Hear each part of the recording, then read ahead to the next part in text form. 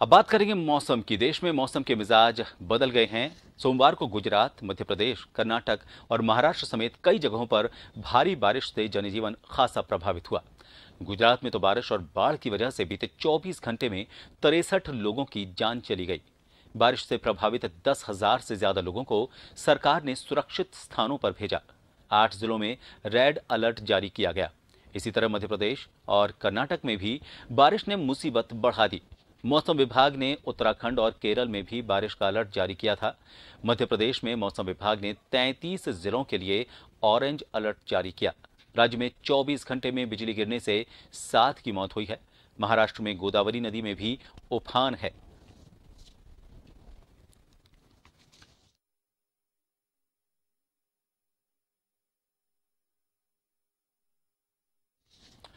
Gujarat, Maharashtra high alert पर हैं और यहाँ पर महाराष्ट्र और गुजरात के कई जिलों में पिछले कुछ दिनों से तेज बारिश हो रही है। दोनों राज्यों को मिलाकर अब तक 140 से ज़्यादा लोगों की जान जा चुकी है।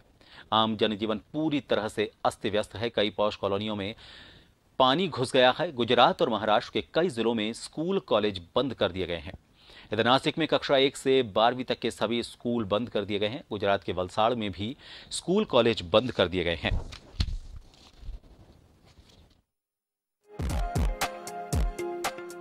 नर्मदा सूरत और छोटा उदयपुर के साथ वलसाड़ तापी नवसारी में हाई अलर्ट है।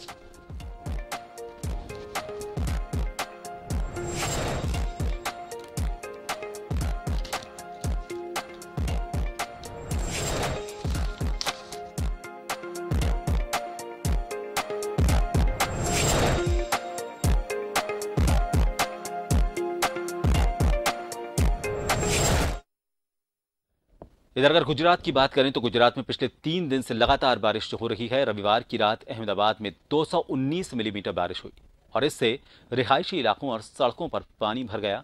सोमवार को शहर के स्कूल, कॉलेज बंद रहे। State disaster management minister Rajendra Trivedi ने बताया कि अब तक 9000 लोगों को रीलोकेट किया गया है, जबकि चार सौ अड़सठ लोगों का रेस्क्यू किया गया है। सूरत समेत छह जिलों में भारी बारिश की आशंका के चलते रेड अलर्ट जारी किया गया है। राज्य में तेरह डैम हाई अलर्ट पर हैं। यहाँ एनडीआरएफ समेत कोस्ट गार्ड को भी अलर्ट किया गया है।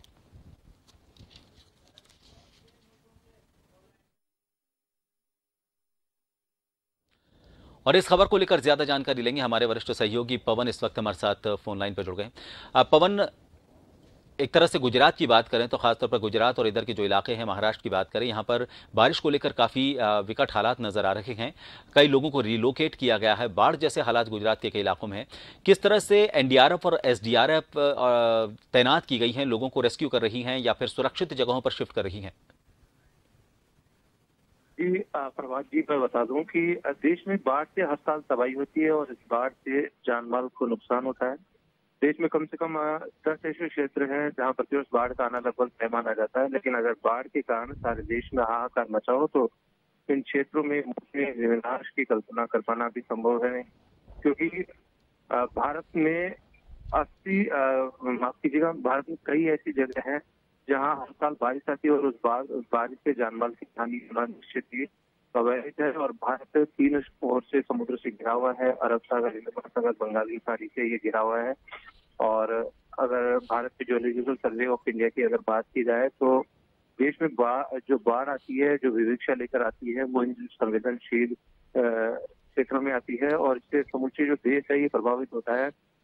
जो कि बताया जाता है कि जो हर वर्ष बाढ़ का सामना करते हैं और देश में ऐसे कुल इलाकों की संख्या की अगर बात की जाए तो बारह दशमलव पाँच प्रतिशत है और ऐसे ही भारत में बंगाल उड़ीसा आंध्र प्रदेश केरल असम बिहार गुजरात और मध्य प्रदेश, हरियाणा और पंजाब ऐसे राज्य हैं जिनमें बाढ़ के ज़्यादातर असर यहाँ दिखाई देखने को मिलता है।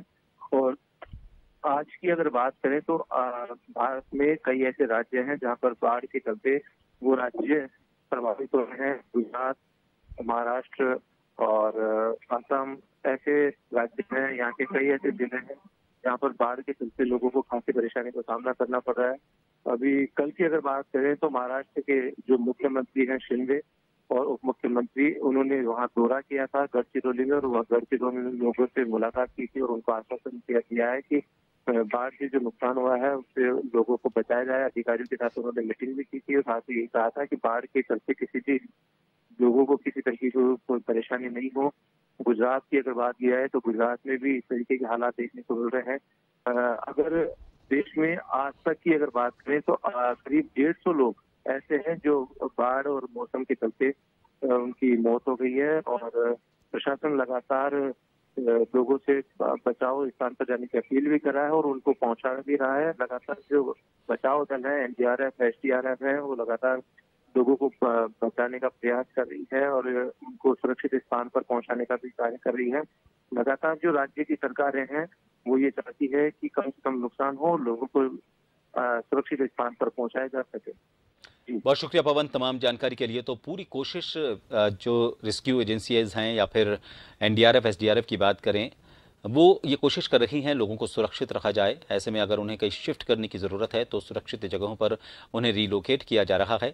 जो लोग फंसे गए हुए हैं उनको रेस्क्यू किया जा रहा है। आ, कई लोगों की मौत की भी खबर आ रही है। भारी बारिश की वजह से कई नदियाँ उफान पर बताई जा रही हैं और जो निचले इलाके में हैं उनमें थोड़े से हालात विकट नज़र आ रहे हैं। लेकिन प्रशासन का ये कहना है कि एनडीआरएफ और एसडीआरएफ पूरी मुस्तैदी के साथ सभी लोगों को रेस्क्यू करने की कोशिश कर रही है।